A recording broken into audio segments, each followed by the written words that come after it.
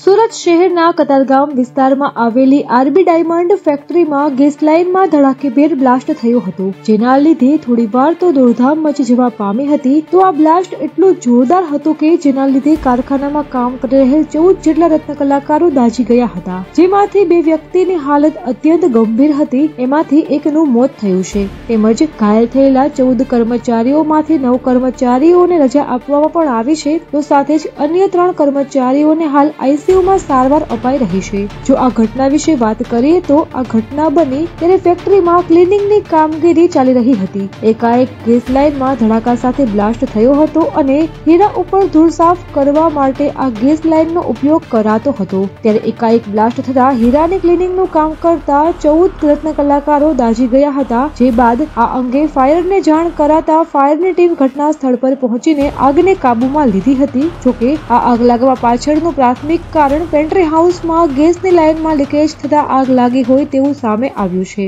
અમારી તમામ માહિતીથી અપડેટેડ રહેવા માટે જોડાયેલા રહો ત્રિશુલ ન્યૂઝ સાથે.